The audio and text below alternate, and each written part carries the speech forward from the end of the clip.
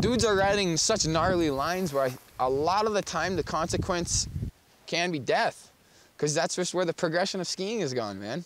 And isn't that too far? No. Why not dial it back a little well, bit? Well, then let's stop NASCAR. Let's stop IndyCar. Let's stop boxing because that, that's not the answer to stop, man. The answer is to keep going, man. Like, let's keep going. I want to land on Mars, you know what I mean? If anyone could actually land on Mars with skis, it's probably Tanner Hall, a 28 year old professional skier who, over the last decade, starred in dozens of ski films. For Hall, and a lot of die-hard skiers these days, the ultimate test isn't at a ski resort or in a halfpipe.